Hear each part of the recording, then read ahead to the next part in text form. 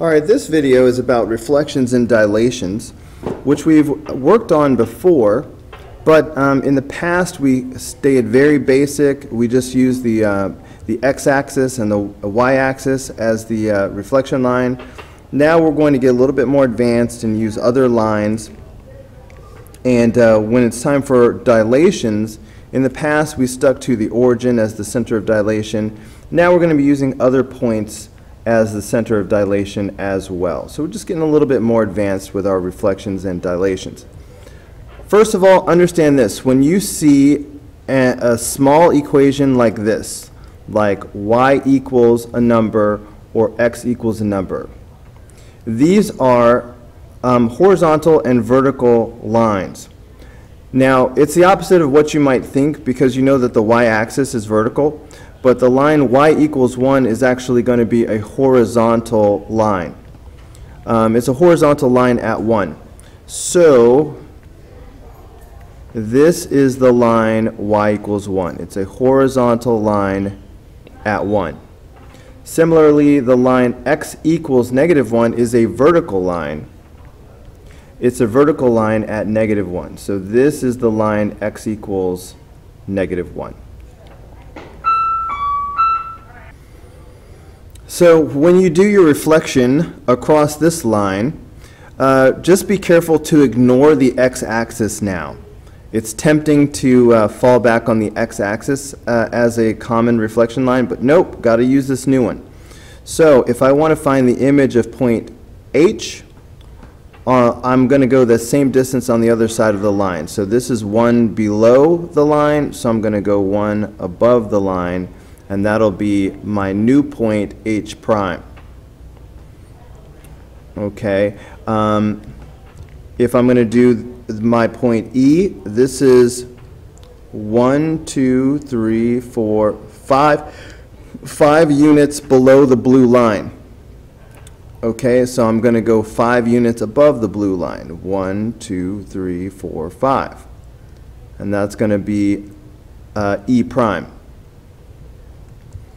Okay, uh, look at point F. This is six units.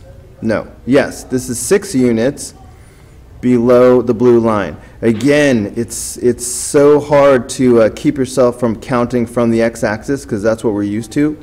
So just be really careful to make sure you're counting. I almost made the mistake uh, for a second there. So six units from the blue line.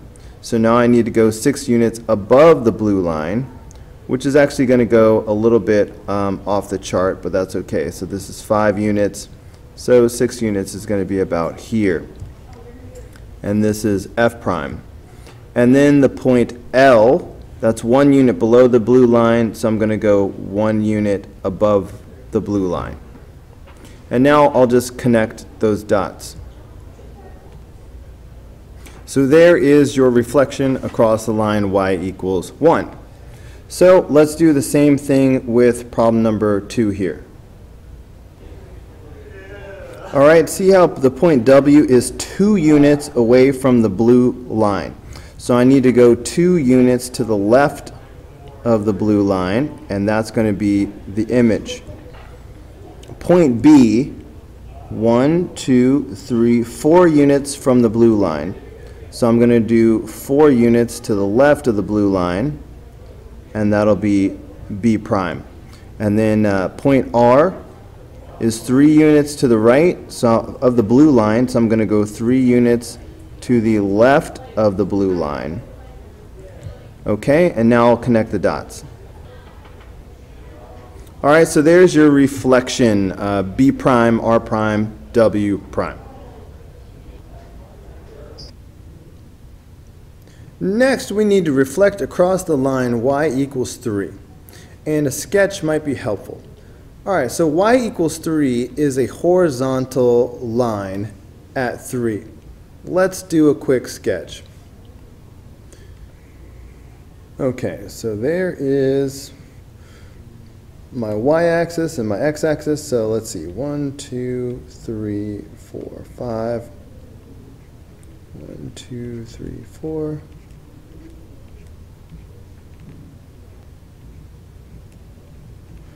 Okay, I'll put more marks on here if I need to.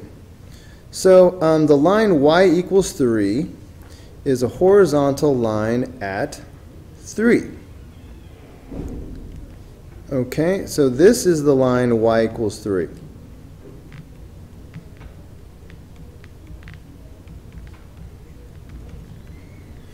Okay, now the point we need to reflect is the point 2 comma negative 5. Okay, so this is 2, 1, 2, 3, 4. Um, okay, so I need to go down one more.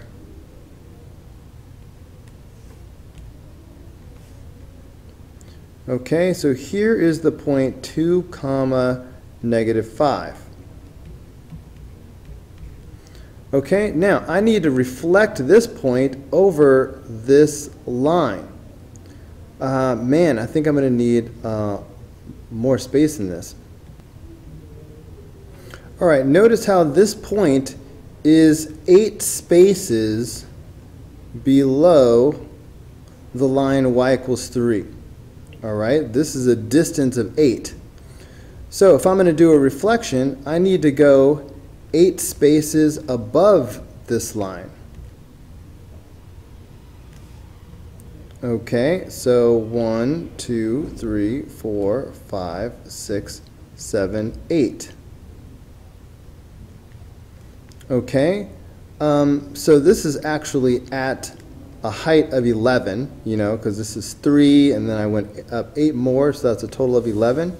And don't forget that um, the x-coordinate is 2. So we're not changing that. We're still at an x value of 2. So this is the point 2 comma 11. All right, so there's your answer. Um, now, for number 4, we need to reflect across the line x equals 3, which is a vertical line. And we're reflecting the same point. So maybe I can use the same graph. Okay, so this time we are reflecting over the line x equals 3. So that's a vertical line at 3. So this is the line x equals 3.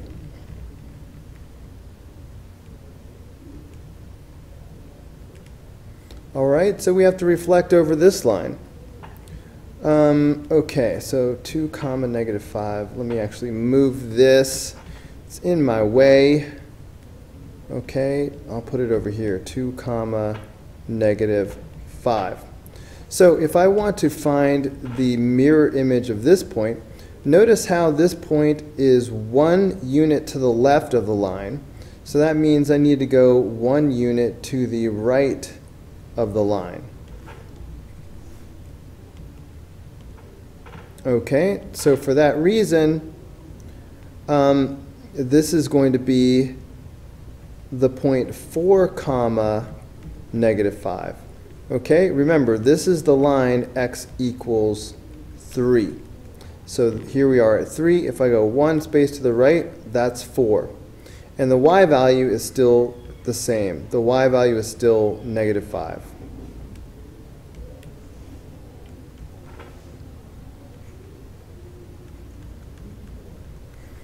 Okay, so that's how you reflect across uh, a line that's not the y-axis or the x-axis. Okay, looking at problem number five, we need to do a dilation by a scale factor of uh, 3 over 2. Okay, now, for number 5, we are using the origin 0, comma 0 as the center of dilation. So when the origin is the center of dilation, all you really have to do is use the coordinates. You know what? I'm going to use a smaller pen. So um, think of this as point A for a moment. So point A has the coordinates negative 2, comma 4. So that's negative 2, comma 4. So if I want to find out what A prime is, all I really have to do is multiply each of these by 3 over 2. So if I do negative 2 times 3 over 2, the 2's cancel out. All right, and that just leaves me with negative 3. The negative sign doesn't go away. Okay, so that means the x-coordinate is going to be negative 3. Um, now, if I do the same thing with the y value, if I do 4 and I multiply times 3 over 2. Okay, remember, this is like having 4 over 1. 4 times 3 is 12. 1 times 2 is 2. Um, so that's 12 over 2, which is 6. So a prime is negative 3 comma 6. All right, so that's going to be negative 3 comma 6 will be right here. So this will be a prime. Let's do the same thing for what I'm going to call point B. Okay, if this is point B, then the coordinates of point B are 2 comma 2. So if I want to find out the coordinates of b prime, I need to multiply these by the scale factor, multiply by 3 over 2. So if I do 2 times 3 over 2, well, okay, look, the 2's are just going to cancel each other out. So that's going to be 3. Okay. Um, oh, and they're both 2, so that's going to just give me 3 comma 3. All right, so the point 3 comma 3 is right here and that's going to be B prime. So here is the line segment after the dilation. All right, so notice how um, it's parallel, but it's longer. Now, it's very easy when the uh, center of dilation is 0, comma 0. It's a little tougher when the center of dilation is something else. Okay, so um, this time the center of dilation is going to be the point 6 comma negative 4. So the first thing we need to do is locate that point. So the point 6 comma negative 4 is right here. This is 6 and here is negative 4. Okay, so this is the point 6 comma negative 4. This is the center of dilation. All right, look, the scale factor is 1 half, so I'm going to wind up with a line that is smaller. But I cannot simply take half of 6 and half of negative 4. Okay, the, the origin 0 comma 0 is not the center. So here's what I need to do. Okay, um, again, let's think of this as uh, point A you have to ask yourself how you would get from the center to point A.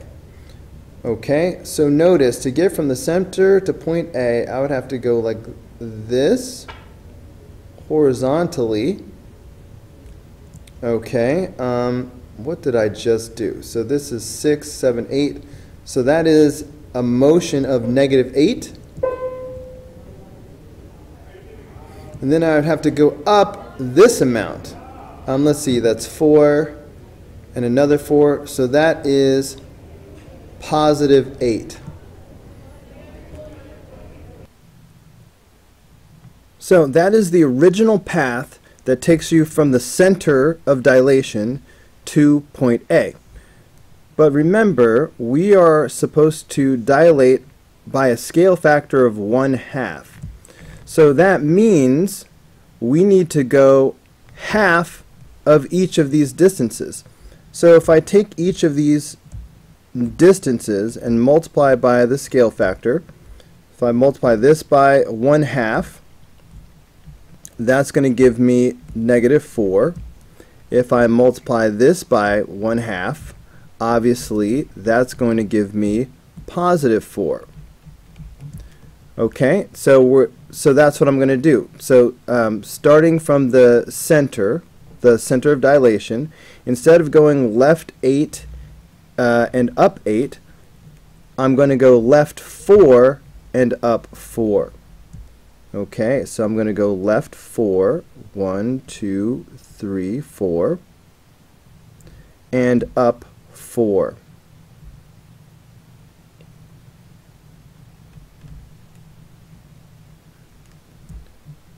All right, so this will be the new uh, point, A prime. This will be the image of point A.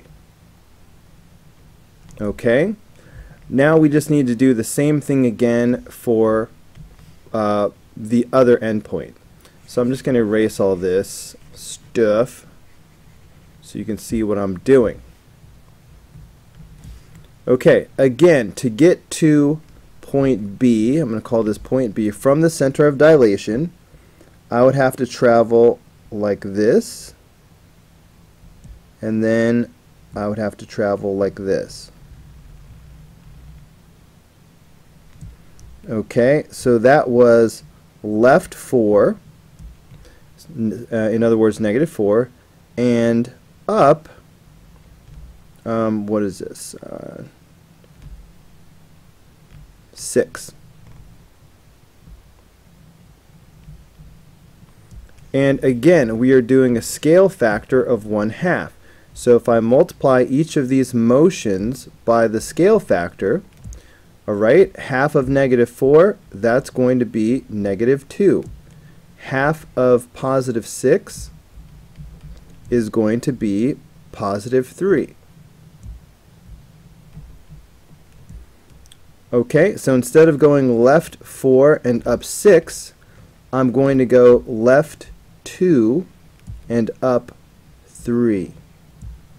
Alright, so that's what I'm going to do. So starting from the center of dilation, I'm going to go left 2 and up 3.